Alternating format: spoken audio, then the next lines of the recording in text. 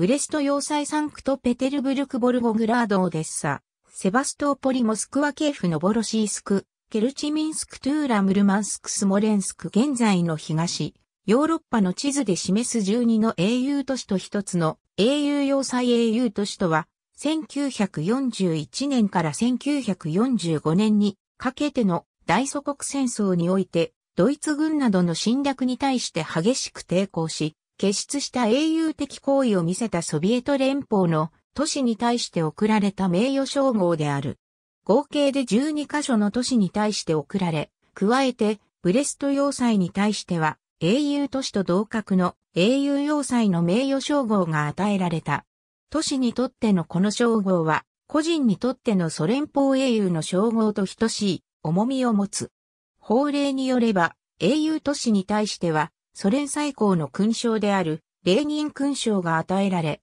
さらに金星章とともに、英雄的行為の証明書が、ソ連最高会議幹部会から与えられた。また街の中に、英雄都市であることを示すオベリスクが建てられた。ボルゴグラード市の紋章。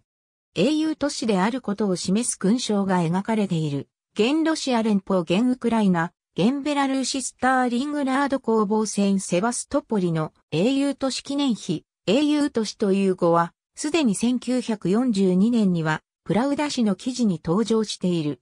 公式に英雄都市の語が用いられたのは、独ソ戦の勝利が決定的となった1945年5月1日、ヨシフ・スターリンが最高司令官命令20号で英雄都市レニングラード、スターリングラード、セバストポリ、オデッサにおいて、礼法を打つよう命じた時が最初である。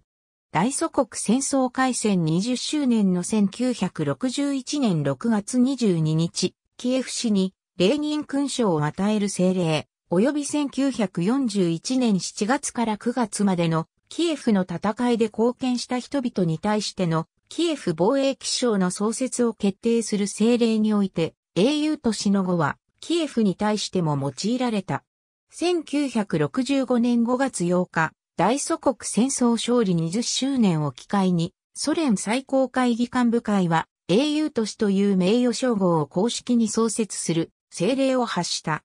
同日の政令において、上記の都市、すなわちレニングラード、ボルゴグラード、キエフ、セバストポリ、オデッサの都市に対し英雄都市の称号を送ることになった。加えて、モスクワが英雄都市とされ、ブレスト要塞が英雄要塞とされた。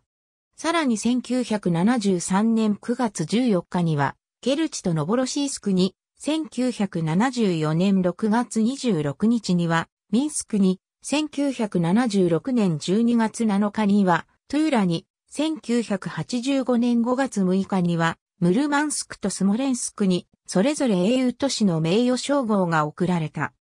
1988年、ソ連政府は英雄都市の称号の授与を公式に打ち切ったため、英雄都市の数は12、英雄要塞が1で、すべてとなっている。一方、2005年4月5日、ロシア連邦のドゥーマは新たに、軍事栄光都市の名誉称号を新設する法案を可決した。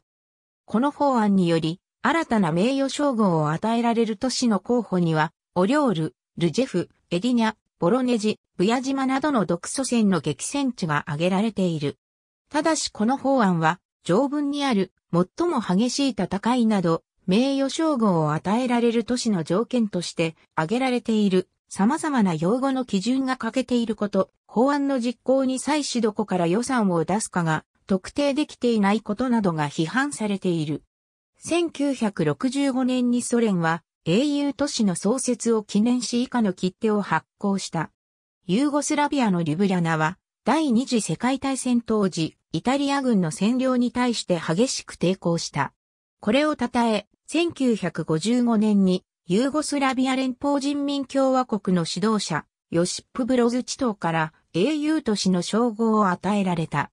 コロンビアのカルタヘナはスペインからの独立戦争中の1815年2月、パブロ・モリーリョ将軍率いるスペイン軍に包囲されたが、121日間にわたる激しい戦闘の末に陥落した。独立の英雄シモン・ボリバルは後に英雄都市の称号を与えた。ポルトガルはアゾレス諸島のアングラド・エロイズモは1829年にスペインからの侵攻を退けたことによってこの名を得た。ありがとうございます。